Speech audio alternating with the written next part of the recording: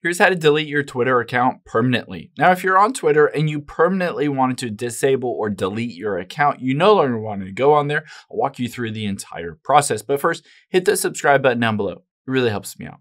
Thanks, guys. Now, let's open up the Twitter app here, or you can go to twitter.com or x.com. Now that we're on here, we need to get into your settings to delete this.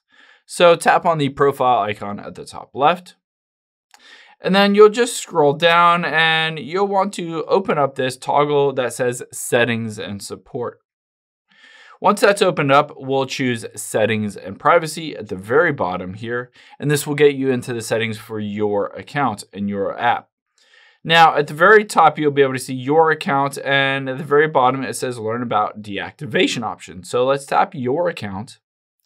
And now at the very bottom, it says deactivate your account. Keep in mind, it doesn't say delete your account, and I'll walk you through why. Let's tap on that.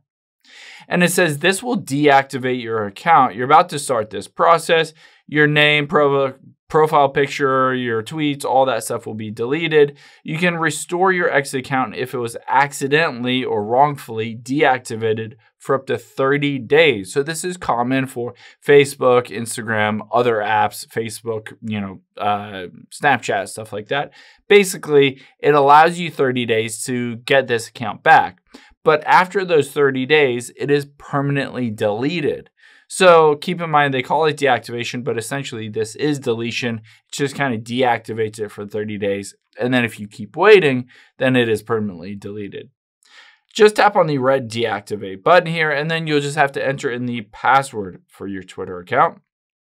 And then all you need to do is hit this red uh, deactivate button at the bottom right here. And keep in mind, you do have 30 days. If you do change your mind, you can just log back into Twitter and get that account back. But if you don't, then essentially everything will be deleted from your account, all your tweets, your replies, your photos, videos, all that stuff. I hope this helps. If it did, hit the like button down below and leave a comment if you still have any questions. Thanks, guys.